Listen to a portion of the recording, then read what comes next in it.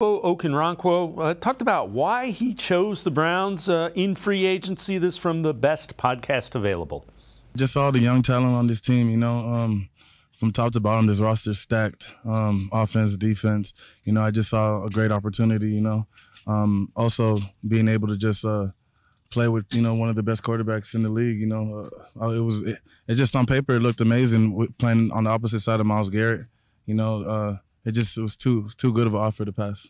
What's it been like so far with Myles? I, I know that he's been here for a little bit on and off, but uh, your interactions with him. Oh, he's a super cool guy. You know, uh, he uh, he loves the game. Uh, he's he's probably somewhere training right now. You know, um, the guy he's a freak of nature. You know, he can do a lot of stuff that I'll never be able to do. You know, you know. I don't say that. I, I don't know about. I mean, that. I'm just really, I'm really excited to to play for uh, play alongside him. You know, he's a really cool dude. Um, ready to learn a lot from him. What about Jim Schwartz? What stands out uh, so far through the offseason program? Uh, his energy. You know, he's the same guy every day. Um, he loves the game. He he wants us to play with our hair on fire. He's gonna allow us to. He's he literally told us to take the seatbelt off and go play football. So so that's fun.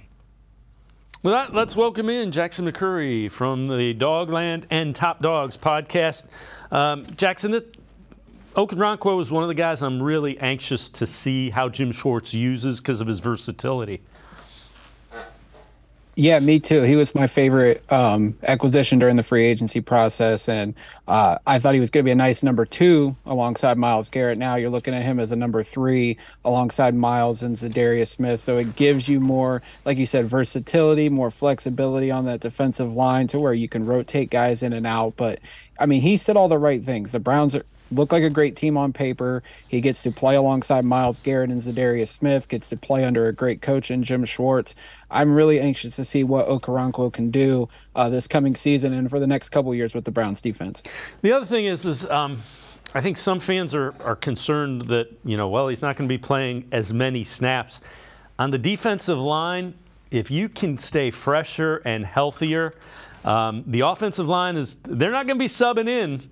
So, you know, that half step is going to make, it makes a difference late in the third quarter and in the fourth quarter. Yeah, absolutely. I think you've seen teams like Philadelphia and other defenses that have had multiple options on the defensive line and be able to rotate guys in and out. I think that's what helps make these defenses great, especially late in the season and into the postseason, is that you're be able to keep guys fresh. You know, we've talked about it for years since Myles uh, Garrett got drafted. He's played a lot of snaps. Now he's going to be able to be fresh, like you said, late in the third quarter, into the fourth quarter, and those crucial moments in the game where we need him to make an impact play, he's going to be fresh enough to do so. And not only him, but Za'Darius Smith and even Okoronkwo as well.